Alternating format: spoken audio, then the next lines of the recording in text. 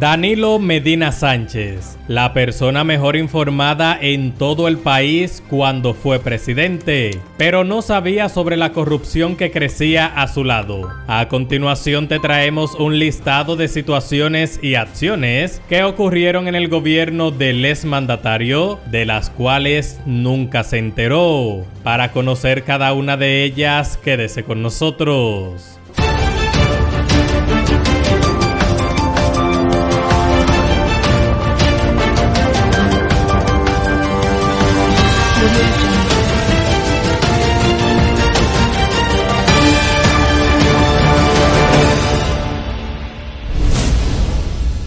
Hola, ¿qué tal amigos? Antes de iniciar este video quisiera que escuchen este corto audio para que puedan comprender la siguiente información. Escuchemos. Los panfletos que riegan para que no me reciban. La persona mejor informada en este país se llama el presidente Danilo Medina y el DNI lo sigue todo el que está haciendo diablura contra el gobierno.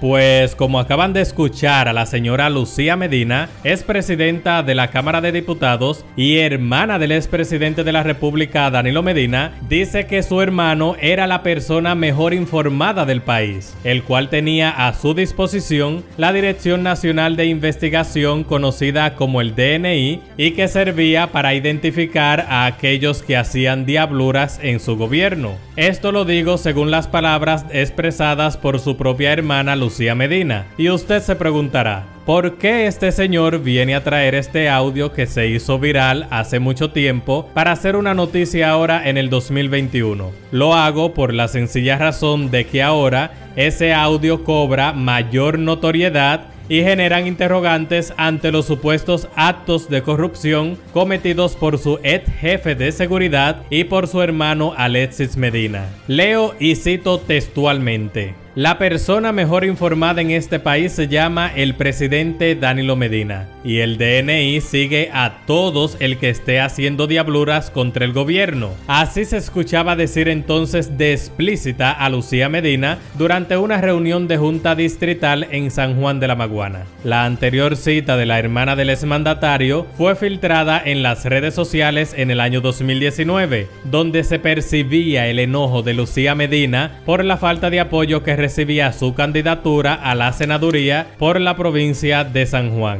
Pero como aquí en Informe General siempre buscamos que ustedes se enteren de todo lo que no sale en otro canal, aquí les informaremos sobre las cosas de las cuales Danilo nunca se enteró cuando fue presidente de la República. ¿O acaso el DNI fue quien no se las informó? De todas maneras, comparta este video con sus amigos y etiquete al señor Medina aquí abajo para que él también se entere de lo que nunca le informaron. Número 1. Danilo Medina, la persona más informada del país. Al parecer nunca se enteró de las operaciones realizadas en el entramado de corrupción militar, societario y religioso que encabezaba Adán Cáceres Silvestre y por el cual lo acusa el Ministerio Público, quien era su ex jefe de seguridad y siempre le acompañaba a todos lados. Según la acusación de la Procuraduría General de la República, Cáceres Silvestre lideraba un entramado corrupto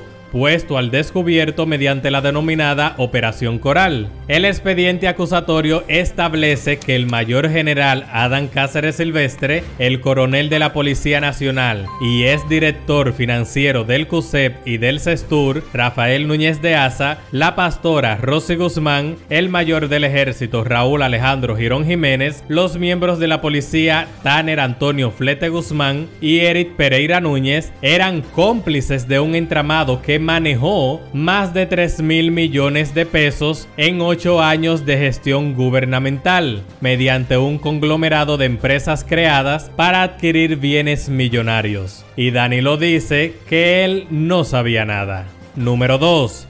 El Ministerio Público detalló que el expediente acusatorio contra los implicados en la Operación Coral, que el entramado que dirigía el ex jefe de la seguridad presidencial, había conformado una sociedad de empresas con las cuales realizaban las operaciones manejo y desvío de dinero de forma corrupta. Único Real Estate Inversiones SRL, Asociación Campesina Madre Tierra, CSNA, Universo Empresarial SRL, Aldon Glass Aluminium SRL, Randa International Company EIRL, IRG y Soluciones Financieras SRL son las empresas mediante las cuales se realizaban las operaciones corruptas que realizaba el general Adam Cáceres Silvestre conjuntamente a los demás implicados. Para tales operaciones, según el Ministerio Público, los implicados se auxiliaban de personal, tanto militar como de la Policía Nacional y otras instituciones gubernamentales para realizar el desvío de fondos provenientes de las actividades ilícitas. Y Danilo dice que él no sabía nada.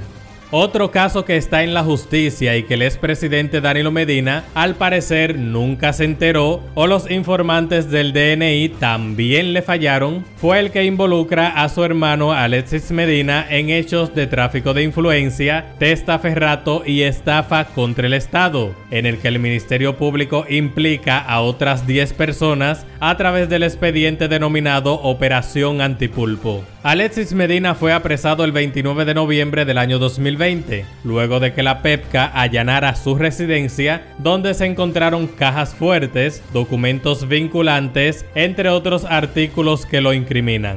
Junto al hermano del expresidente fue apresada también su hermana Carmen Magalis Medina Sánchez por supuestos actos de corrupción cometidos cuando era ex vicepresidenta del Fondo Patrimonial de las Empresas Reformadas Fomper. En el expediente antipulpo igualmente fueron apresados Francisco Pagán Rodríguez, Lorenzo Wilfredo Hidalgo Núñez, Rafael Antonio Germosén Andújar, Fernando Rosa Rosa, Aquiles Alejandro Christopher Sánchez, Domingo Antonio Santiago Muñoz, Julián Esteban Suriel Suazo, José Dolores Santana Carmona y Huacal Bernabel Méndez Pineda. Según las pruebas presentadas por la PEPCA en el caso Antipulpo, la estructura de corrupción que supuestamente manejaba Alexis Medina, hermano del expresidente, sustrajo de forma ilícita unos 4.796 millones de pesos del erario público, al obtener millonarios contratos con múltiples instituciones del Estado dominicano, estableciendo un entramado de tráfico de influencia y asociación de funcionarios aunque cabe mencionar que si la PEPCA logra recuperar los más de 4 mil millones de pesos de la operación antipulpo,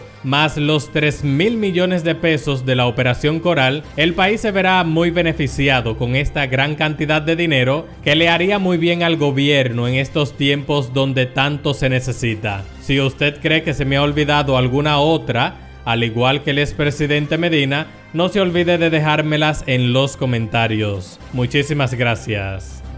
Recuerda que si deseas apoyar este proyecto informativo, puedes hacerlo dejándonos un me gusta y suscribiéndote al canal. Si te gustó nuestro contenido, puedes dejarnos un comentario y puedes compartir nuestros videos con todos tus amigos y familiares. Sin más nada que agregar, nos vemos en el próximo video.